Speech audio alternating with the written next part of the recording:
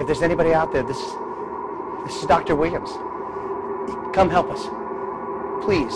It, it, wasn't our fault. We were, we were experimenting to, to try reanimate patients with Alzheimer's, and we tried a new drug, and it wasn't tested by the FDA, but we, we tried it anyway because we were trying to help people. We were just, we were just trying to help people. And, and, and, the, and our patients, our elderly patients, well, they, it, well, they were getting better, progressively better, but, but then the, something went wrong, and, and they developed some kind of taste for, for, for human flesh, and, and they're moving. They're coming. They're coming. Help us. Please come help us. Help us. We're on the fourth. This is Nurse Simmons. We've lost five. Five that I know of. I, I don't know. I watched I watched Dev take them and then wake them back up. It, I don't know. It's something in the blood.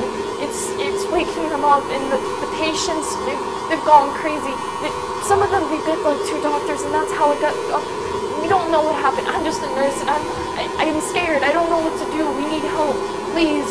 If anyone's out.